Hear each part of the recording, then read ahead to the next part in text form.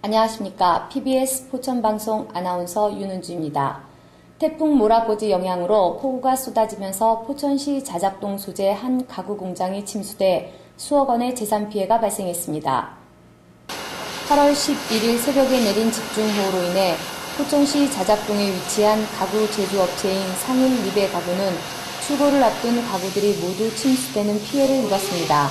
이 업체는 특히 가구의 품질 향상을 위해 해외에서 수입한 원자재와 수작업으로 가공한 최고급 가구들이 그대로 물에 잠기면서 2억 원 이상의 피해를 입었습니다.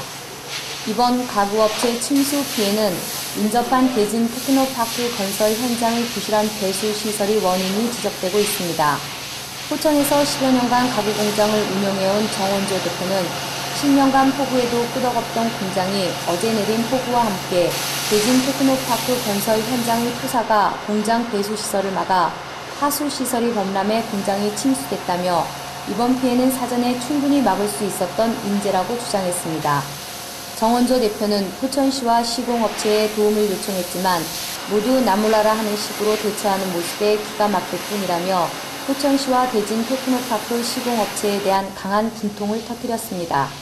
전 재산이나 다름없는 가구 공장에 침수 피해를 입은 정 대표는 포천시와 시공업체의 늑장 대응과 출고를 앞둔 가구들이 못 쓰게 돼 앞으로 어떻게 생계를 꾸려가야 할지 막막하기만 하다고 말했습니다.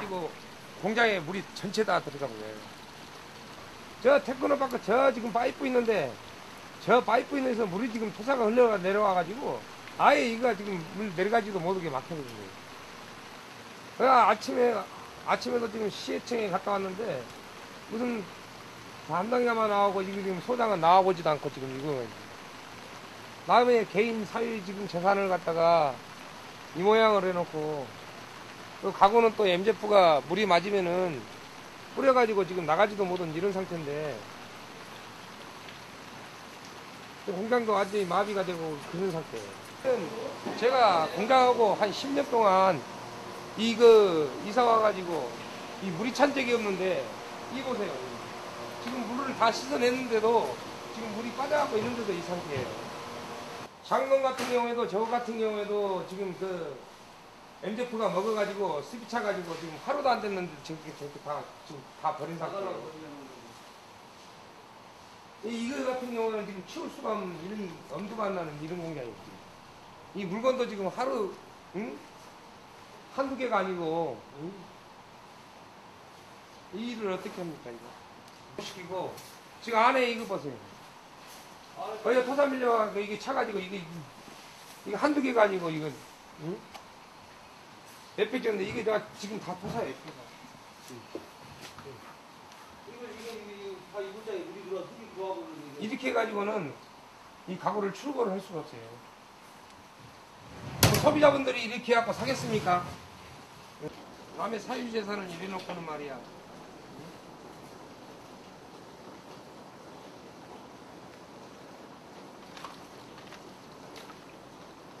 이래야 중소기업이 망하지 이거 그 개인 공장이 응? 자영업이 망하지 이거 뭐 사겠습니까 이거?